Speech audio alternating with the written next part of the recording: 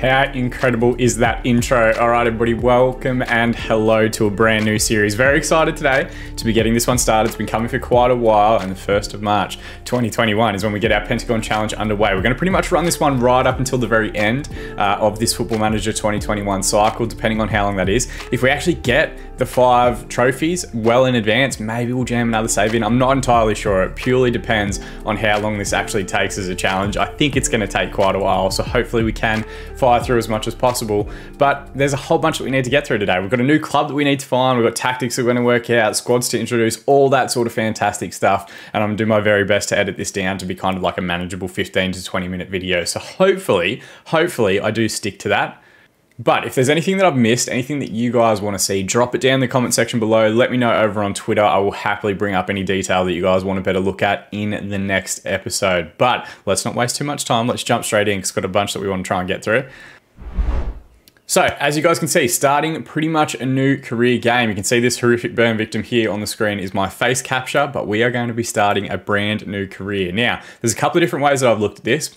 I thought about potentially starting in Australia with Melbourne City, my local club, who I'm a member of. I thought that made a little bit of sense, but I don't think that's in the true spirit of a Pentagon challenge. I think you really do need to kind of like start at the bottom and start with nothing and see how you go from there. So so what I'm thinking is I'm going to load up all of the Asian nations. We're going to start with Asia first. You guys will have seen on the graphic at the start of this episode that we've got like little kind of shadow versions of all of the different continental competitions. We're probably going to go, I think, Asia, Africa, North America, South America, and then Europe. By the time we get to South America and Europe, it'll probably be mostly regens, which is fine. That's no big drama. We might have some like fading stars depending on how long it takes us. But I think we're going to start in Asia first. It is the closest geographical location to me, so I think it makes sense to start there and the Asian Champions League will be like a very difficult one to get. So it could be that we end up like managing in India or something like that, and then do well domestically, and then get a job in Australia, and then do well in Australia, and get a job in China, and then we finally get a crack at a Champions League, such as the disparity of wages and all that sort of stuff. But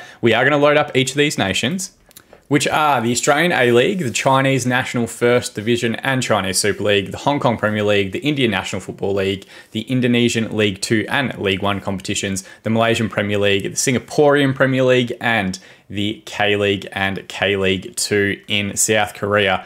We're going with a large database. We're going with the start of the season because I will be unemployed at that particular time. We're going to use not use real fixtures. We're not going to add key tasks. We're going to disable player attribute masking. The reason I do that is because this is a long-term save. Really, you just have to scout a guy for like three or four times. And if I'm going to be unemployed for long stretches, I just want to be able to see what players are like and if they're any good and all that sort of stuff. And of course, prevent use of the in-game editor. Not that anyone would do that anyway, but we're going to hit start game. I'm going to see how we go. 12 leagues from eight nations and a large database. It will start in Australia in December 2020, and that's where our journey gets going. Hopefully because it's December 2020, some of those leagues divisions that have started already earlier in the season, maybe there'll be jobs up for grabs. I don't really know. We're going to see how we go.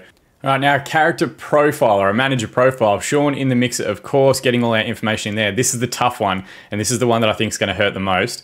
Starting unemployed, that part's fine. It's this part here, like all that hard work I've done to like boost up my reputation, whatever else. It's going to drop back to no coaching badges. It's going to drop down to Sunday League footballer. And the only trait really that I'm going to put anything into is man management, just because all those conversations can be so difficult if you don't go in the right direction. And I've got one point to a coaching attribute. Let's go with tactical, I guess. That seems like a good way to do it, but that's the smallest I think I've started with in any series on the channel. It's going to be a challenge for the uh, first few years, definitely.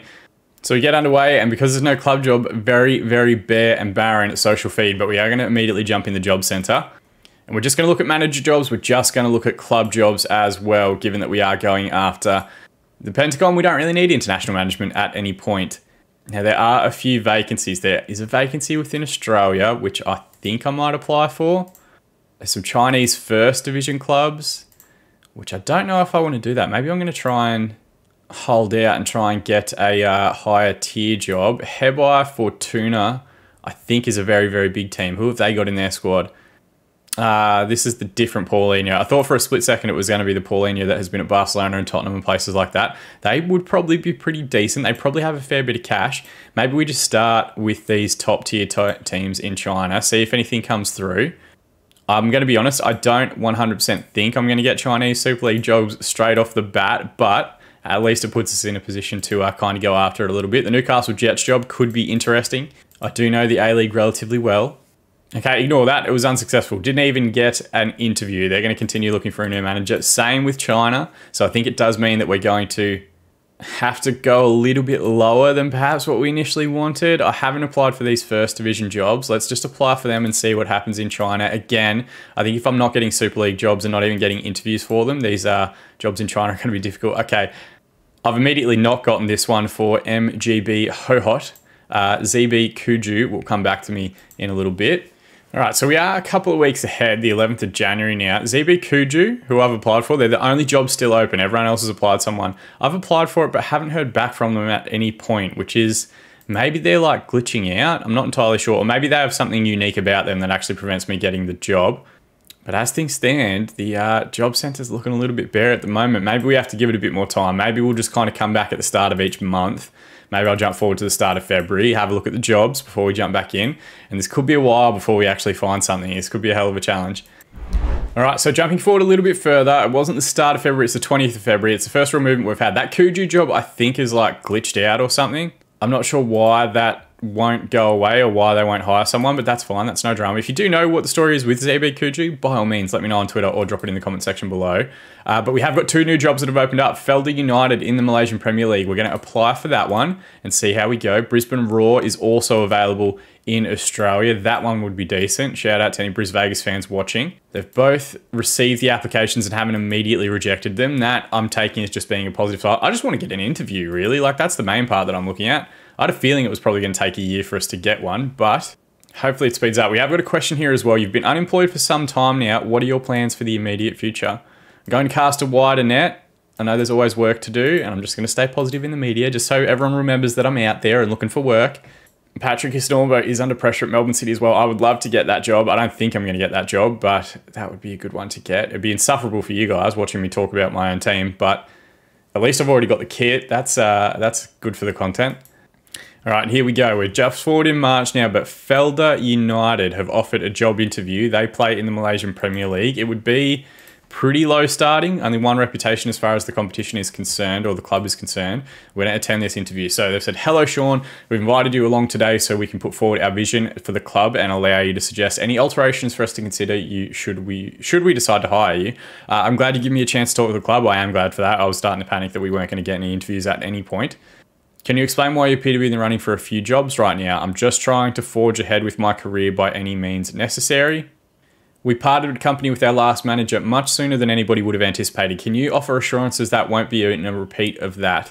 Uh, I've an intention to commit to a long and successful career with this club. Sure, why not? Can you assure us that you would have no problem securing the backing of your players, an area our previous manager struggled considerably in, were we to hire you?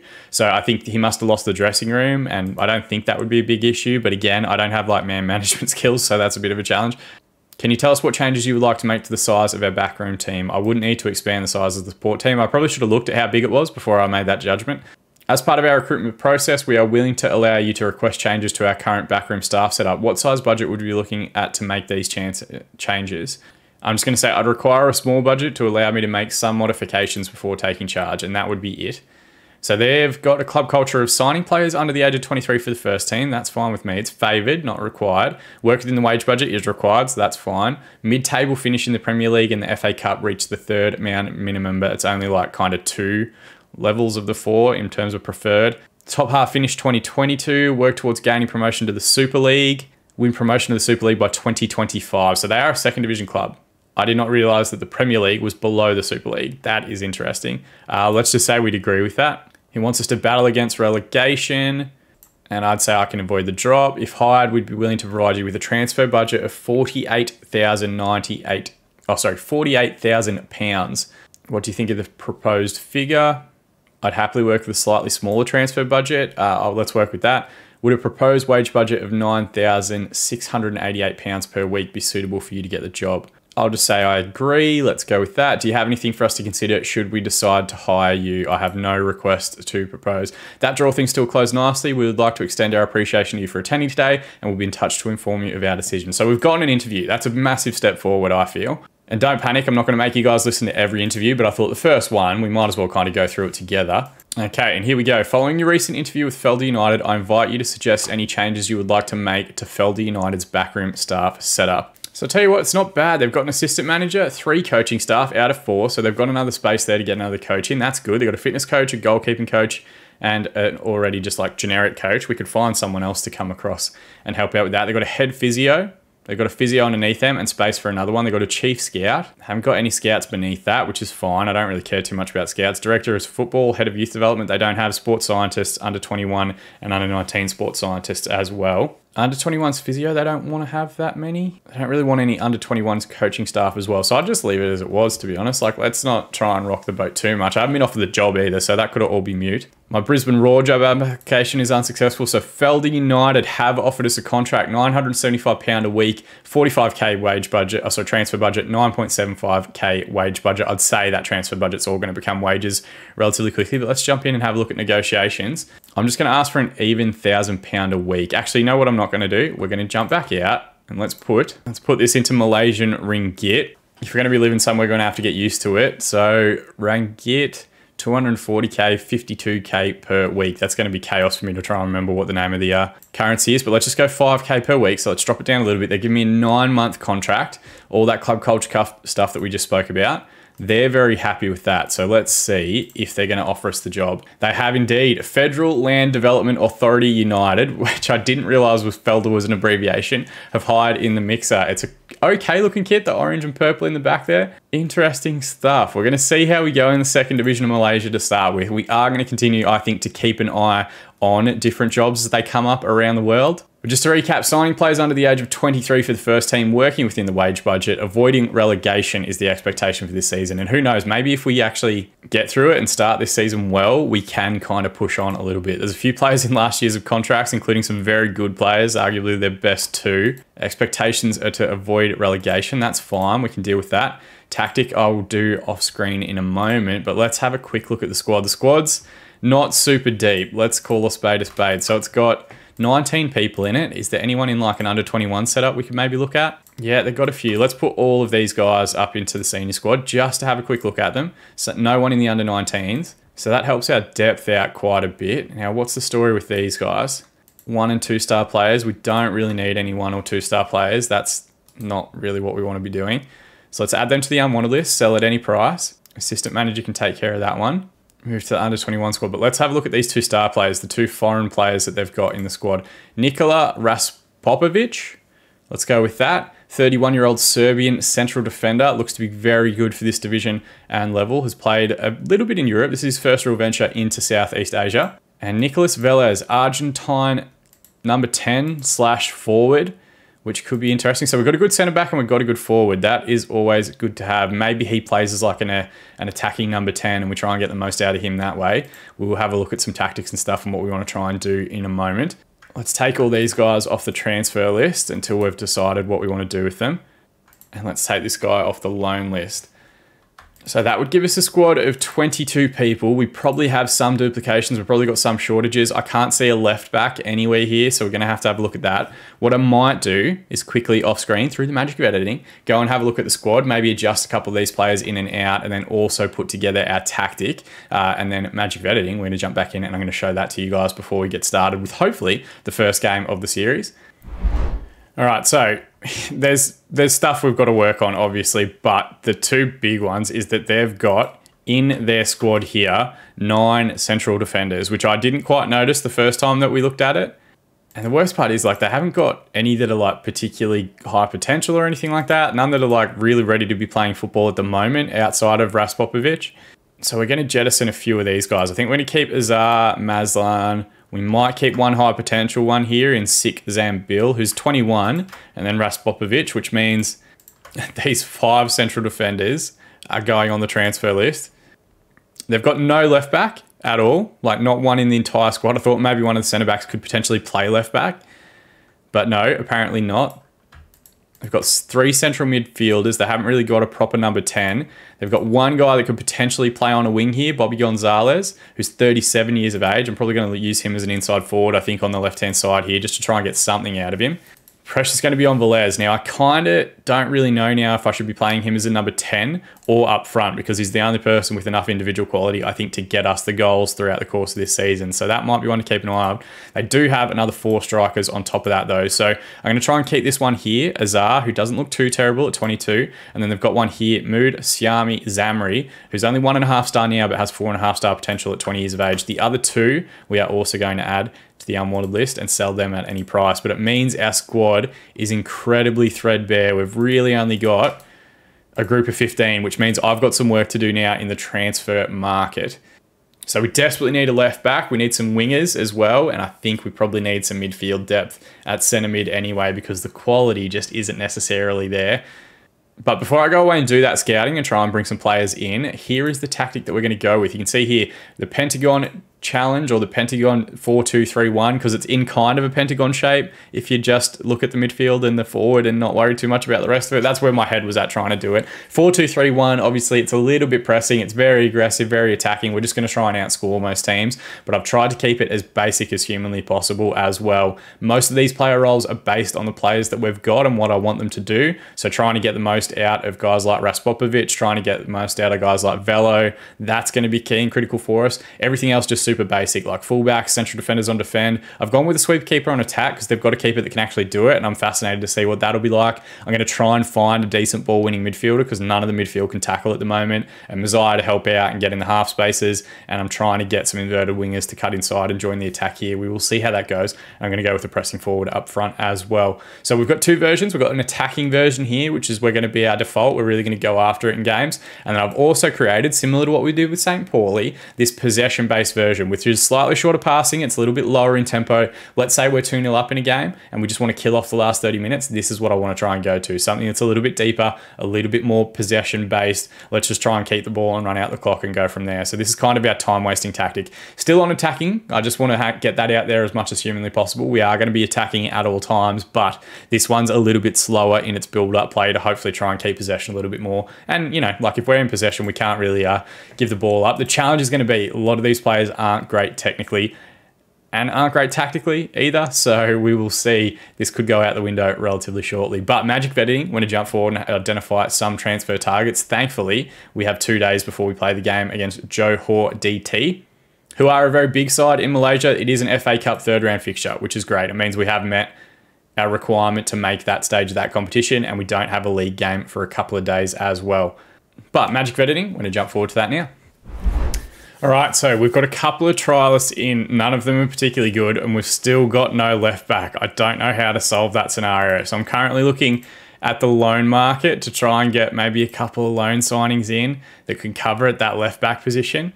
But there just doesn't appear to be depth anywhere in that position. Like the quality here is like, it's worse than Vanarama South if you're looking for an equivalent save type.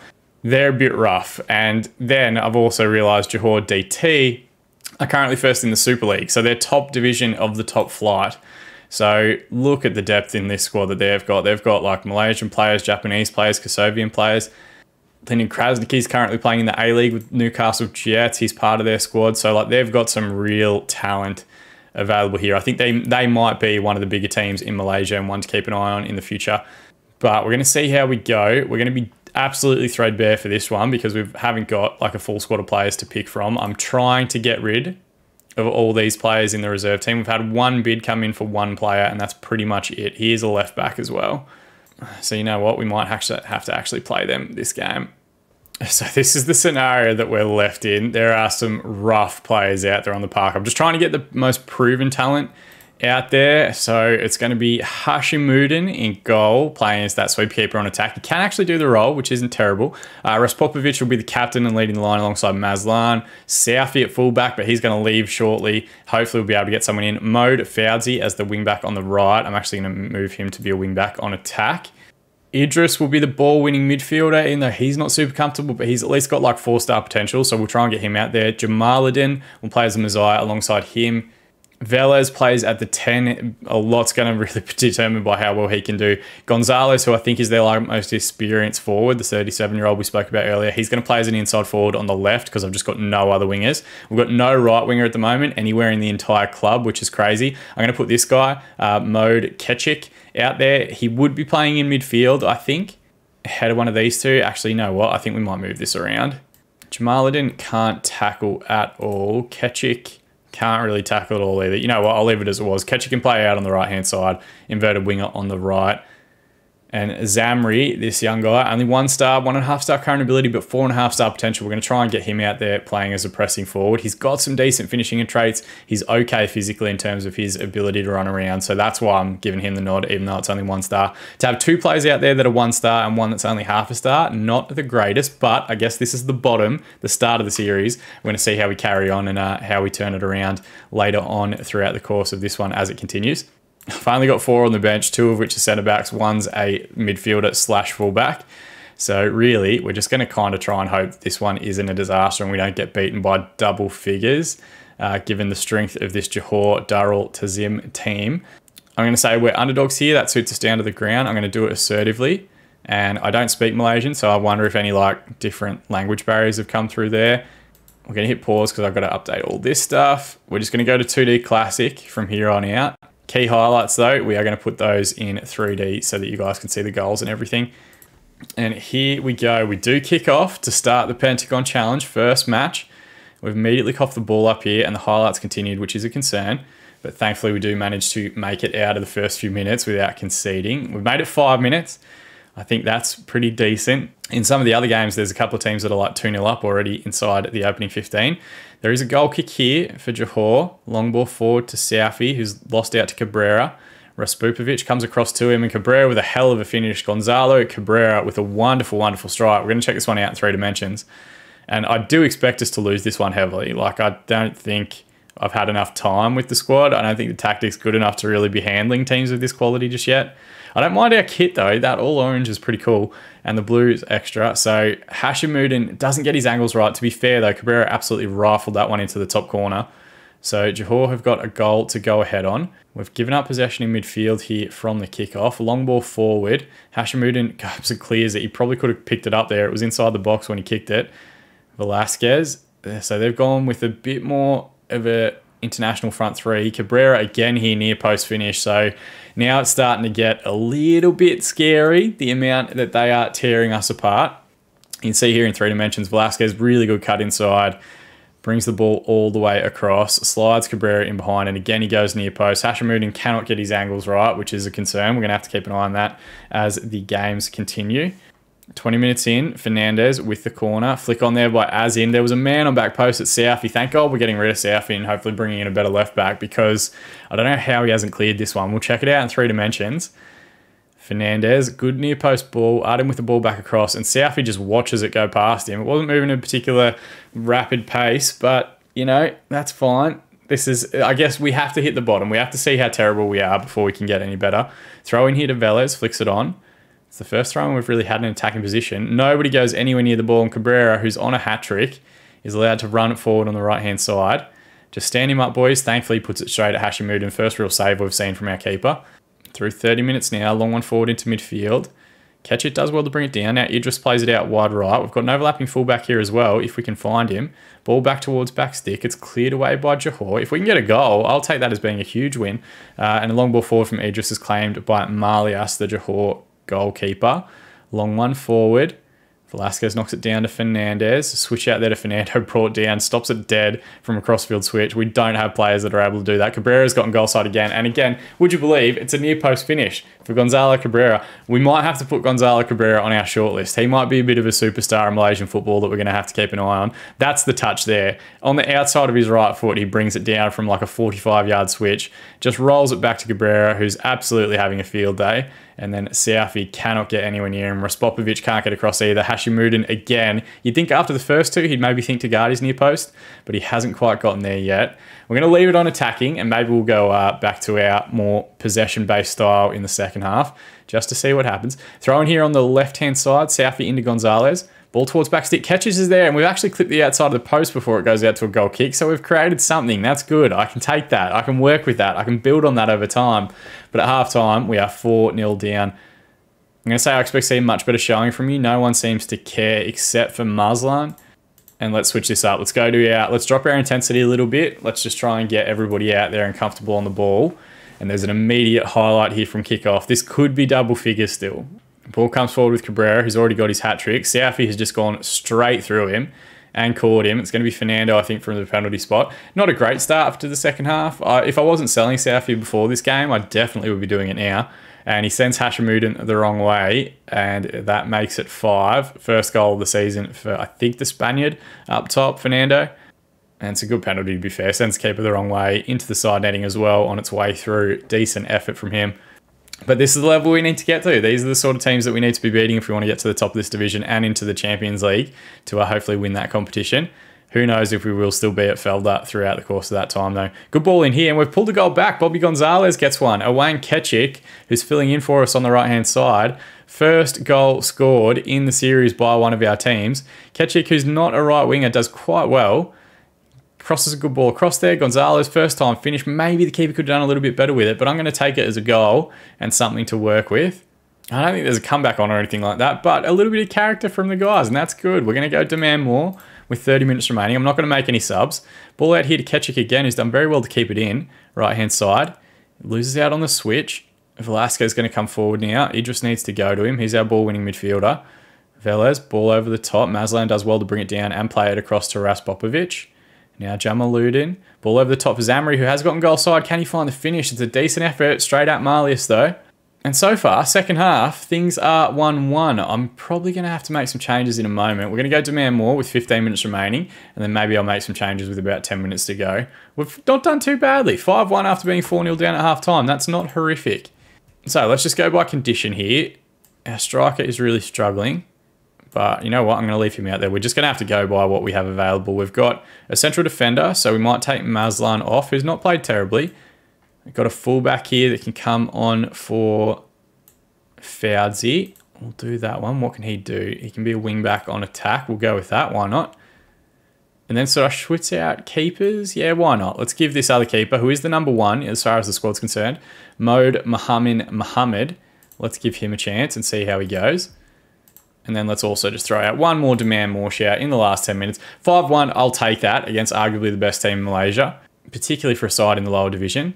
Ball's pinballing around here. It's coming out to Azar, our right fullback. Can we get it back in? Out to Kechik, who's been busy on that right-hand side. Idris, now Velez.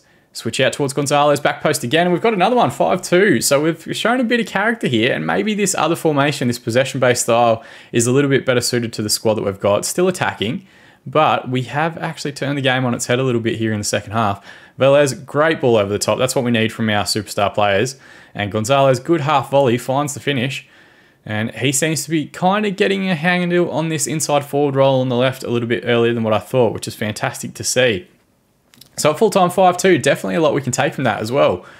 I'm not going to get too upset with them. I'm just going to say can't fault your effort. Nobody expects us to win, but you gave it everything. And they all seem demotivated somehow. Okay, so this is the challenge with not having any man management skills.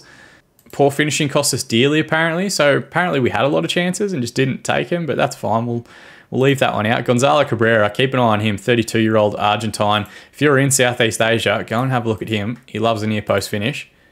But I think that's actually going to bring us to an end for today's episode. So we've gone through a whole bunch of stuff. We've gone through a new club. We've got a tactic. We've got a squad that we've got to work with. We've got a lot that we need to improve with that squad, but there's still quite a bit to be excited about, and I'm very excited about it as well.